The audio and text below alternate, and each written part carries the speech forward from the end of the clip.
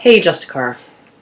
Um, I watched your recent video about Earl Silverman and, and I kind of felt compelled to make a response. Um, first, I want to say that Earl Silverman and I were friends. Uh, we met through our involvement in the MRM and we, uh, we had a lot of long conversations about the problems men face in the current culture and legal climate. And uh, I'm going to provide you uh, with a little background on him, what his story is. And I hope I'm getting all the details right. It's a really long, convoluted story with a lot of different players, and I may uh, trip up on some of the small details, but this is pretty much it in a nutshell. About two decades ago, Earl left an abusive marriage and he sought help within his community. Uh, what he found were services dedicated to female victims and treatment programs for male batterers. Um, it wasn't just assumed that he was the perpetrator of abuse in his marriage. It was considered an impossibility that he could be a victim of female perpetrated abuse. Now, you and I both know what ideology it is that's responsible for that set of beliefs. And uh, I'm not sure you're aware of the lengths proponents of this particular ideology have gone to to suppress any evidence that contradicts their worldview. I do remember sitting in a Denny's one morning with Earl, and he told me that talking to a feminist domestic violence advocate about male victims was like trying to convince them that, quote, this coffee cup is not a blue Mercedes convertible its coffee cup. You know, that feminist will even drink coffee out of the cup, all the while insisting that it is, in fact, a blue Mercedes convertible. Uh, he even said that uh, one advocate he was talking to said she would take the word of one woman over a hundred studies showing female perpetration and male victims. What are you going to do? Like a lot of activists do, uh, he kind of saw activism as an opportunity to find healing. Um, healing isn't usually what happens when you do that, uh, especially when your activism encounters brick wall after brick wall. But given the fact that at the time there was next to nothing out there that did offer any kind of healing or support or therapy for male victims, it's hard to find a way to blame him for uh, for seeing things that way. He started a men's crisis line and a support group, the Family of Men Support Society, which he operated for 20 years. Uh, he watched very, very closely as researchers and advocates from Murray Straus to Suzanne Steinmetz to Martin Fiebert to Donald Dutton to Erin Pizzey to Eugene Lupri and countless others published survey after survey demonstrating that current official models of domestic violence and current government and community strategies for intervention and treatment were based on a fundamental misunderstanding of the problem. He watched as a growing mountain of social science research was not only ignored by government agencies and ministries, but actively suppressed.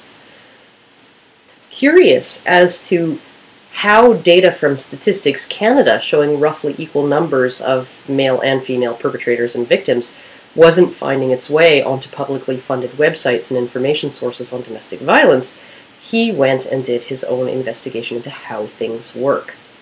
What he found amazingly was that in Canada, any report on any gendered issue moving from one ministry to another, say from the Ministry of Health to the Ministry of Justice, must first be vetted and approved by the Minister for the Status of Women.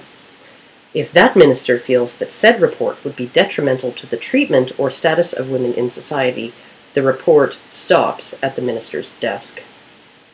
So basically, in the Canadian federal government, you have one person who has veto power as to which information and what research and which data go where. In 2004, he began requesting funding for services for male victims from the provincial government. Uh, mainly, he wanted some funding for his Family of Men Support Society.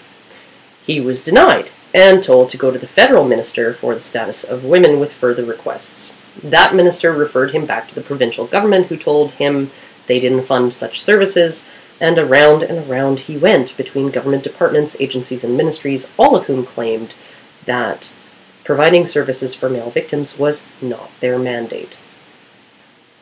In 2006, he applied for a sex discrimination hearing in front of the Alberta Human Rights Council.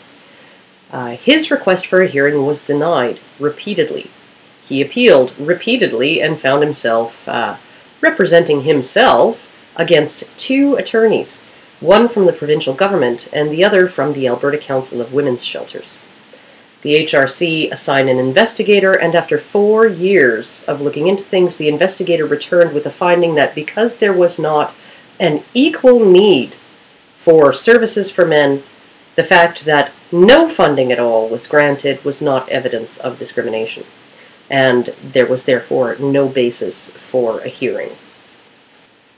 Now, I'm going to share a little background on the Human Rights Council and what a joke it has become uh, to those Canadians uh, in the know. Uh, a journalist and magazine publisher uh, was recently brought up in front of the Human Rights Tribunal to defend his right to freedom of expression and freedom of the press over a decision to republish the Danish cartoons of Mohammed. All of that was based on a single incoherent handwritten complaint from a lone Muslim imam. Uh, also, a complaint by a Jehovah's Witness was granted a full hearing after the man was fired for refusing to stock holiday items on the shelves, as was part of his job. This employee was not required to put up decorations, mind you, or wish customers a Merry Christmas, only to stock shelves with merchandise for sale. The HRC is a clearinghouse for often completely frivolous complaints of discrimination. Apparently, the federal and provincial government's refusal to provide a single dollar of funding towards services for half of the victims of domestic violence and their children was considered too frivolous a complaint even for the HRC. In 2010, Earl finally took it upon himself to purchase a house and run it as a shelter for men leaving violent relationships. He operated it out of his own pocket and private donations, and by having to charge clients $20 per night to cover costs. In 2012, in court again, attempting to be granted a hearing in front of the Human Rights Council. He made a tactical decision he hoped would result in all of this stuff getting on the public record. He made a frivolous threat against one of the two opposing attorneys in a court document he then presented to the judge. A threat that was comparable to, I'll blast him with my phaser. His house was raided, all his computers and documents seized, and he was arrested and charged with extortion. Now, that was what he was hoping would happen. Uh, it was his hope that a criminal proceeding would provide a venue for his experiences to become a matter of public record. That all the evidence not made available to the public because the HRC wouldn't even permit him a hearing in which to present it would come out in his criminal trial. Now, I remember telling him over the phone that the moment this particular attorney realized that that's what would happen in a criminal trial, uh, that the charges would be quietly dropped. And surprise, surprise, they were. Now, just this year, uh, I think it was at the start of this year, maybe the very end of last year, Earl was invited onto a local current events program called Primetime, called Alberta Primetime to discuss male victims of domestic violence and the lack of services for them. Former Edmonton Mayor and current provincial coordinator for the Alberta Council of Women's Shelters, Jan Reimer, was invited onto the program as well. She declined to appear. Uh, production staff reported that she said, so much as showing up to discuss male victims would only lend legitimacy to the fact that they exist. So, no funding, no hearing, no criminal trial, no public record of his evidence, and no public debate with those who control the money and the dialogue.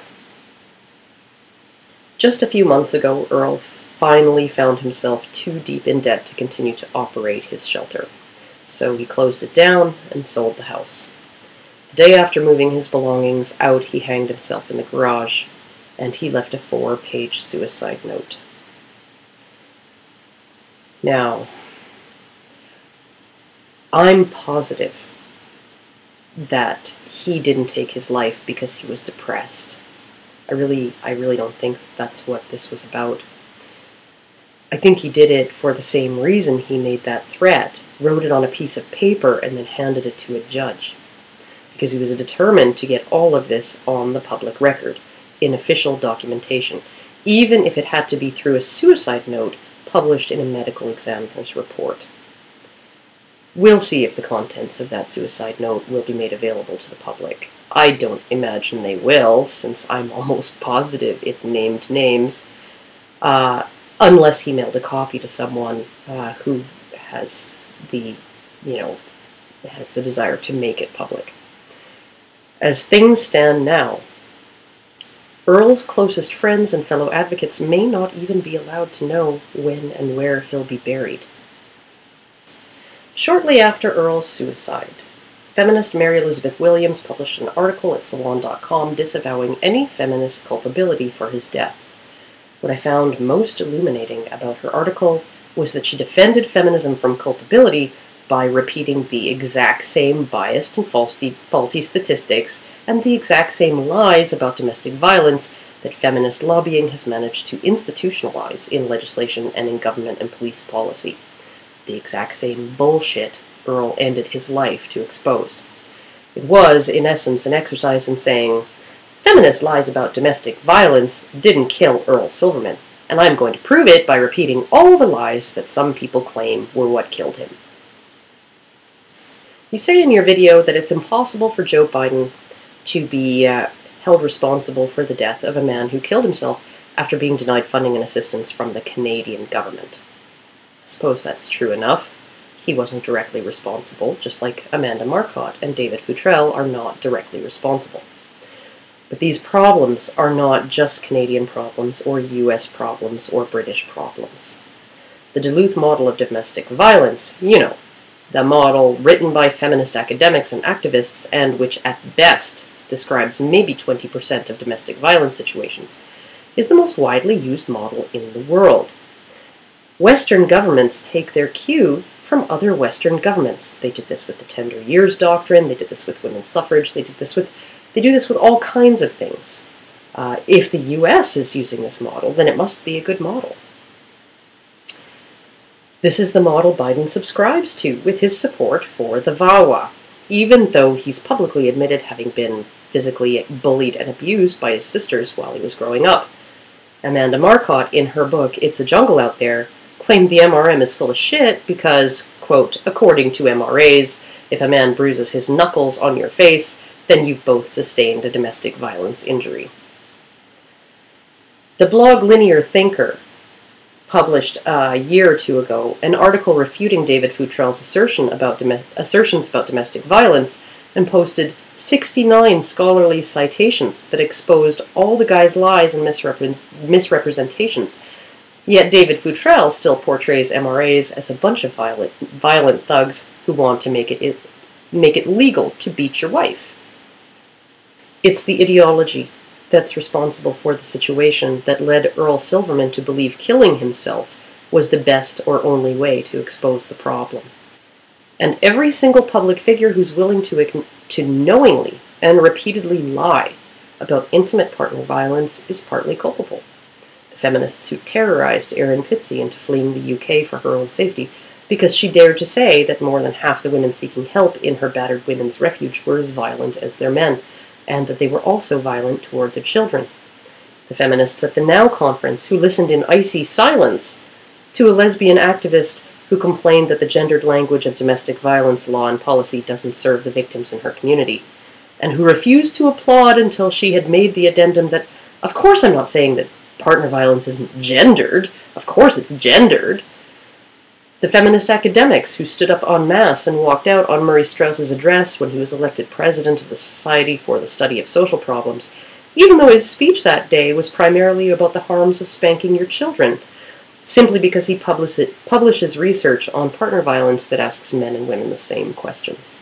The feminist grad student and her feminist professor who took data from Statistics Canada showing 601,000 female victims and 585,000 male victims and transformed that data in their report to 1.2 million Canadian women.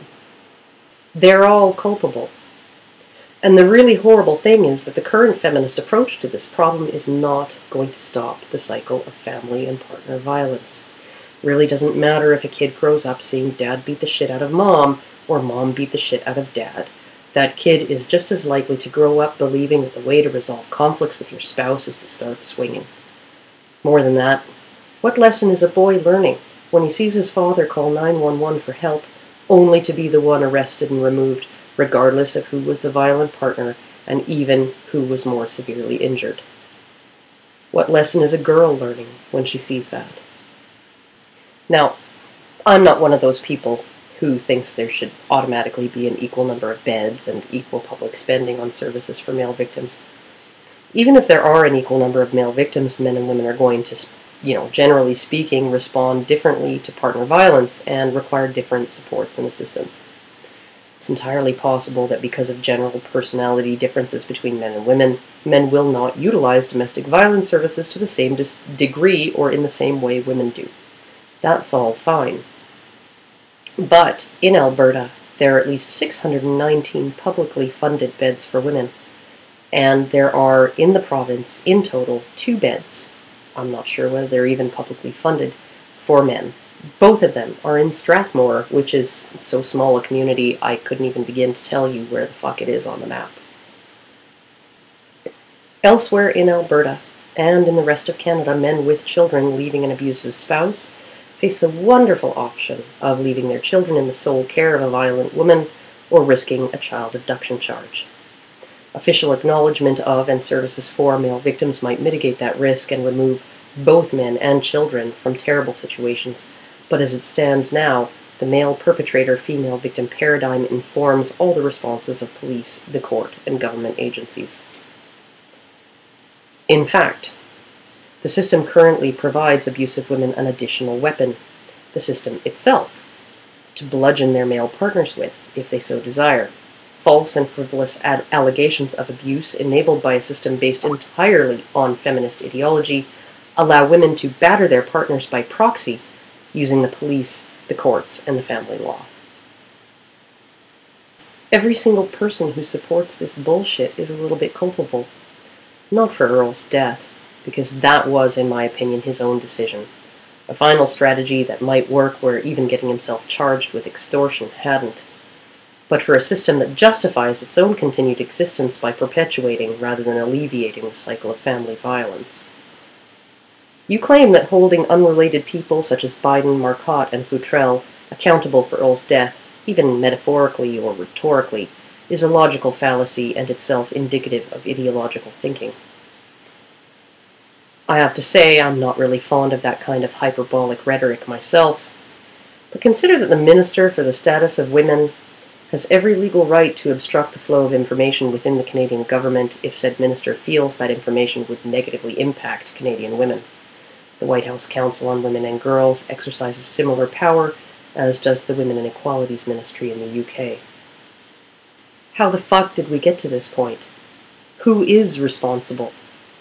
And is the mere act of opposing an ideology and holding it accountable, even hyperbolically, for actions performed in its service, and naming its biggest and most dishonest proponents while doing so really evidence of ideological thinking. Frankly, if a man wrote in his suicide note that he chose to end his life specifically to draw attention to and raise awareness of a certain issue, well, what would you have the rest of us do? This is not a man who killed himself because of depression, despair, frustration, or feeling he'd been treated unfairly. It isn't just sad.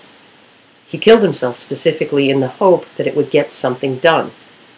Regardless of whether you like the rhetoric of those who are taking what he gave us and running with it, what else would you have them do? He didn't want us to quietly grieve his death, to be sad and get together and commiserate over a few drinks. He wanted us to do something with it, not respecting that wish would be dishonoring his memory. I knew him well enough to know, even without what little of his suicide note has been made public, that his decision to commit suicide was a tactical one, not an emotional one. Once he saw himself as no longer useful to the cause as a living advocate, he did what he had to do to make himself useful to the rest of us. It was a ruthless and calculating decision with a specific goal. His way of taking a final stand, of saying, this far, no further. And I would be very disappointed if MRAs didn't extract every drop of benefit they could out of it. This was a man who was willing to risk going to prison just to get his struggle on the public record. And I'm not going to go so far as to claim his sacrifice in hanging himself was selfless or noble. But I will say it was an act of neither cowardice nor despair. I'm going to repeat Earl didn't kill himself because he was depressed, or dis- disillusioned, or disappointed, or discouraged. He killed himself so that others would climb on top of his body and use it as a soapbox to continue the efforts that were most important to him. If he was committed enough to do that, it's unfair to criticize MRAs for doing exactly what he wanted them to do, exactly what he died so they could do. How fair would it be to Earl, a man who ended his own life for the sole purpose of furthering his life's work, if we were to do our grieving quietly and privately and pretend that doing what he wanted by exploiting his sacrifice was somehow unjust or unseemly? And I know you're coming at this from a position of not really knowing the whole story, not having been aware of all the stuff I've talked about in this video, and not knowing Earl which is why I'm not annoyed with you for accusing A Voice for Men of capitalizing on a tragedy, or exploiting victimhood, or of being dishonest, illogical, or ideological. There's really no way for anyone not intimately acquainted with this particular situation to know all of this, precisely because the system has been so effective in keeping all of it under wraps. Earl signed every email with the phrase, live for nothing, die for something. He did die for something, and the MRM is only honoring him by keeping his death from becoming just another one of those 58 million people who die every day, essentially for nothing. And for Earl. I'm just going to lift my blue Mercedes convertible here and uh, take a drink in his honor. in his honor and uh, in the hope that he didn't fall on his sword for nothing. If there was ever anyone I would have called a one man army, he was it. And he was one with whom no one who mattered, not even the great Jan Reimer, Edmontonian of the century, recipient of a Governor General's award, was willing to publicly engage in debate or in battle. Earl, you lived for nothing. You died for something. And uh, I'm going to miss you. And uh, to Justicar and the rest of you, you